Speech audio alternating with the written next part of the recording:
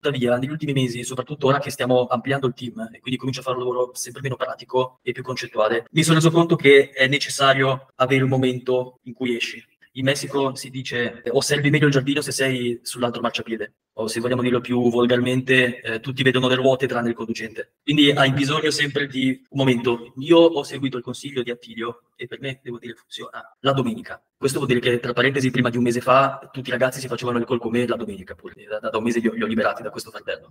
Però sì, ho visto sulla mia pelle, ecco, parlo anche per esperienza personale, che è importante avere un momento in cui, in cui esci, che ti aiuta anche poi a performare meglio durante il periodo in cui sei dentro. Non so risponderti invece sul fare vacanze, eccetera, perché non, non le faccio, no? non so dirti se funzionano o no. Una cosa che puoi, eh, che puoi considerare, ecco, una cosa che a me ha aiutato un sacco, eh, la prima volta che, che, l'ho fatta e lo aggiorno ogni tanto. Fatti una lista dei, dei task, a tutti, per, per, proprio anche nella vita personale, cioè dal fare la spesa, fare le... vedrai che uno ci sono delle, ripetizioni e quindi cose che puoi accorpare e salvi tempo, ma salvi tempo a volte magari di qualche ora al giorno. E due, puoi pensare a un certo punto chiaramente di trovare qualcuno che ti, ti aiuta a fare questo. Tra parentesi, il qualcuno, la, la figura ad esempio della segretaria, assumere la segretaria è una rottura di palle, eh, noi l'abbiamo assunta una un paio di mesi fa, eh, ci, ci, aiuta, eh, però ci sono altre considerazioni che magari se, se sei libero professionista singolo ti mettono un po' no? in, in, difficoltà, diciamo così. Ci sono dei tool di intelligenza artificiale che ti aiutano ad amministrare, ad esempio che ti, ti, ti precompilano le fatture o che eh, ti aiutano a, a, organizzare i task, appunto. Quindi ti consiglierei di, di, di esplorare quest'area anche. Guarda, io per esperienza, eh, e parlo dall'esperienza di eh, almeno quattro anni, dove io dal lunedì al sabato facevo dalle sette e mezza del mattino alle nove di sera ininterrotto, non mangiavo neanche. Da quando ho questo, cioè da quando il mio lavoro è questo, nel senso dal 2020, eh, quello che faccio io è sacrosanto la domenica. La domenica non deve essere, cioè la domenica si è riposato Dio, se la, se la Bibbia ha un fondo di verità, cazzarola, almeno la domenica fatemi riposare. Cioè non sono Dio, ma almeno fatemi riposare. Prima di tutto ti devi proprio trovare, devi fare come, secondo me come fa Attilio la cosa migliore, cioè ti devi trovare un giorno in cui proprio ti isoli e il lavoro non esiste. Cioè, proprio non deve esistere. Perché se no, cioè, vai col cervello in burnout, ma così proprio. Quindi un giorno via, cioè proprio il lavoro non deve esistere. Quello che puoi fare anche è diminuire le tue ore di lavoro, ma questo lo fai non soltanto per tua sanità mentale, ma anche perché meno ore tu dai al tuo lavoro, più ti riempi e più sei desiderata. E più sei desiderata, più ti puoi far pagare. Insomma, è un circolo vizioso che ti aiuterà ad aumentare ancora di più le parcelle, eccetera, eccetera.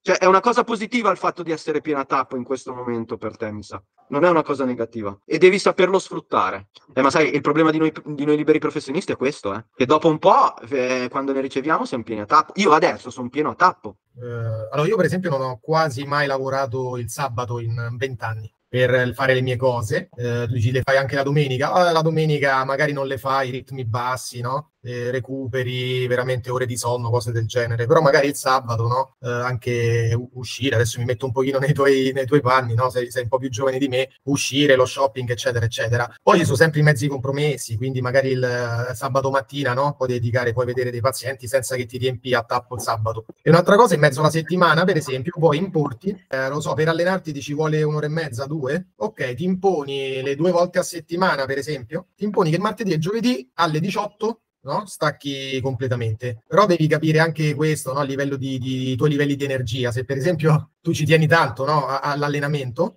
e alle 18 saresti potenzialmente potresti essere stanchissima, anche a livello energetico, perché ti hanno prosciugato un pochino i pazienti, quello che vuoi. E allora invertire il tutto, quindi non lo so, alle 7, alle 9 di mattina ti alleni, ti carichi pure, eventualmente solo un po' di stanchezza fisica e poi partire lì fino alle 20, ok? Però quei due giorni, 2 barra 3, poi ripeto, eh, per me sono anche di più. Poi vabbè, io sono vincolato con i bambini adesso, quindi per gioco forse io delle ore le devo dedicare a loro perché adesso mi fa piacere pure accompagnarli a calcio, eccetera, eccetera. Diciamo, ho altre esigenze, no? Però ecco, questo qui lo, lo puoi fare. Però te lo imponi proprio, prendi l'agenda settimanale e ti scarichi due giorni su, ti bastano due giorni? Eh no, tu sbarra lì, tu lì sbagli, io sbarro. Quindi se io sbarro lì non ci posso scrivere sopra sull'agenda. Eh, il cartaceo, io sto ancora al cartaceo, eh, sono un boomer. Quindi... Va bene, vedi come va, te lo devi, ma per te stessa e poi lavori meglio anche con i pazienti quando è così, eh? perché non vai in frustrazione, non ti manca, non c'hai quella, quella, quella, quell'ansia, no? quello stress addosso. Hai fatto quello che devi fare per te, che poi per, per, me può essere la famiglia, i bambini, per te anche l'allenamento pure per me, eh? per te l'allenamento, per quell'altro è, non lo so, ecco il cane, eh? e poi ti dedichi a cannone meglio con i pazienti perché alzarsi alle 5 ti cambia la vita. È faticosissimo, ci saranno dei momenti in cui vuoi prendere il telefono, la sveglia, quello che è e lanciarla via, però ti cambia la vita, cioè fai veramente il triplo. Qualunque cosa tu vuoi fare che non riesci a fare nella giornata, la fai. Ad esempio, io per, per meditare, per visualizzare, per fare le mie affermazioni, eccetera, eccetera, eh, non potrei farle in nessun altro momento se non dalle 5 alle 5 e mezza. Io la sera non riesco a leggere, ho il cervello che è andato, ho bisogno di farlo subito. Quindi dalle 5 e mezza alle 7 io leggo. Dalle 7 alle 7 e mezza faccio colazione. Ecco, il segreto è anche, come ha detto giustamente Gio- eh, Giovanni, avere tutto agendato, anche i momenti in cui vai al cesso. Devono essere agendati anche quelli. E ogni cosa, ogni minima cosa, se agendata, io vi posso garantire che sarete più produttivi e vi posso garantire che la vostra memoria vi sembrerà una memoria da picco della Mirandola. 5, 5 e mezzo categorico e ci ho messo anche un escamotage che in realtà è balordissimo se pensato, però funziona da Dio. Micro cazzate che però a forza di ancorarle a se le faccio bene, se non le faccio mi giro le palle tutto il giorno, ma tipo una scemenza. Mi metto a fare appena sveglio 100 squat così. Io eh. so che se non li ho fatti quel giorno sono scazzato nero, quindi pur di sapere ok li hai fatti, è una scemenza fondamentalmente. Mm. Io mi sveglio alle 5 per essere a lavorare alle 8 e ho delle routine strane la mattina, come eh. tomi meditazioni e cose varie, ma mettendoci dentro quel, se so che 20 minuti mi posso dare la scusa, cacchio non l'hai fatta, se so che è una cosa che mi richiede 3 e non l'ho fatta, dico minchia, siamo eh pirla. Io non posso suggerirvi dove il libro che Attilio mi ha, eh, mi ha, mi ha regalato, perché eh, me l'ha effettivamente regalato, eh, però vi posso, garantir- vi posso garantire che all'inizio è veramente faticoso e non ne capite il motivo, proprio zero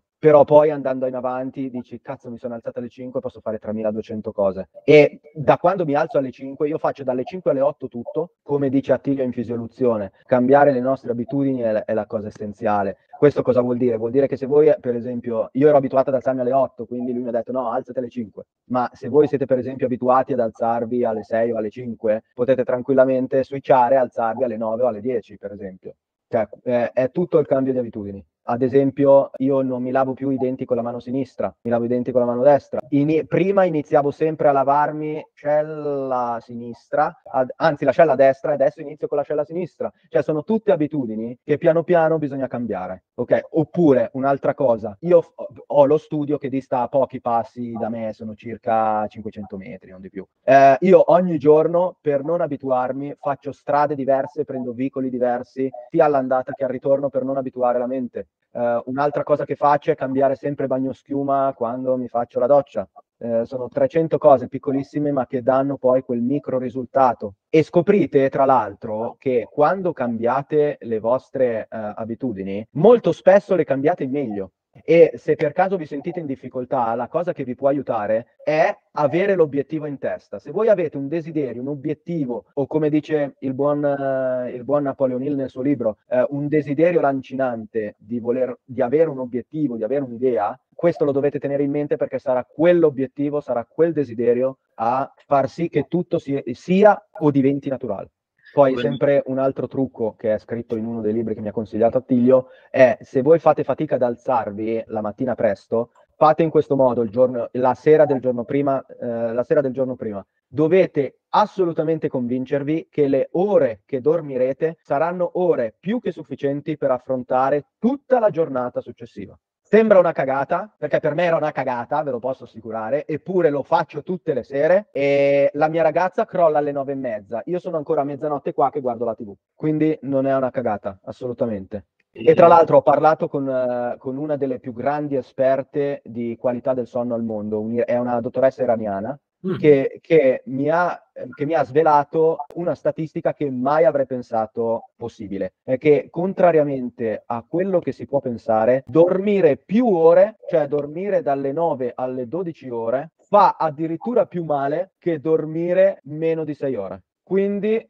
sperimentare il dormire meno di sei ore è assolutamente una cosa che lei mi ha detto, è una cosa fattibile e che sono in tante persone che lo, che lo fanno, non soltanto per lavoro e non soltanto persone che ovviamente sono ad esempio, penso più sfortunati di noi, tipo operai che devono alzarsi alle 4, andare in fabbrica, cioè sono proprio imprenditori che lo fanno. Fino a qualche mese fa io facevo il polifasico, perché voi sa cos'è. Okay. Facevo il bifasico, due cicli da, da tre ore. No, non sai cos'è il polifasico? Ho capito bene? Ah, ok. È essenzialmente dividere il sonno. Qui c'è, eh, c'è, c'è tutta una, una, letteratura, mi viene da dire, una scienza soprattutto molto interessante. Si basa essenzialmente sul fatto che la fase REM pare che sia l'unica realmente importante eh, ed è di due ore su 24. Questa è una cosa che già aveva cominciato a studiare Leonardo ai tempi suoi, tant'è che lui faceva quattro cicli da mezz'ora e lavorava poi tutto il giorno. Capite poi perché aveva avuto tempo per sviluppare la ruota, l'elicottero, perché eh, aveva capito già lui che poteva spezzettare no, il sonno così. Io l'ho fatto per un anno, fino a, ad agosto di quest'anno, e devo dire facevo due cicli da tre ore, distanziati di otto, quindi dormivo sei ore di 24, l'ho fatto per un anno continuativamente e mi ha, come dire, non, non sentivo il peso del, del, sonno che mi mancava. Ecco. La premessa ovviamente è ognuno faccia i suoi test, la cosa più importante soprattutto a livello, no, no, parlavamo Tommaso di, di cambiamento, eccetera, è fare dei test e vedere cosa funziona. Sì. Anche perché appunto ognuno ha, ha, il suo equilibrio, no? ognuno ha, trova un po' poi la, la sua quadra.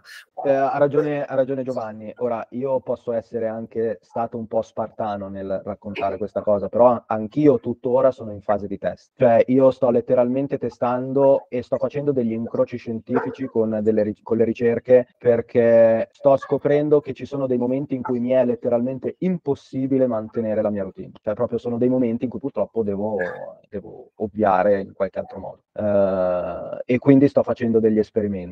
Vediamo come va.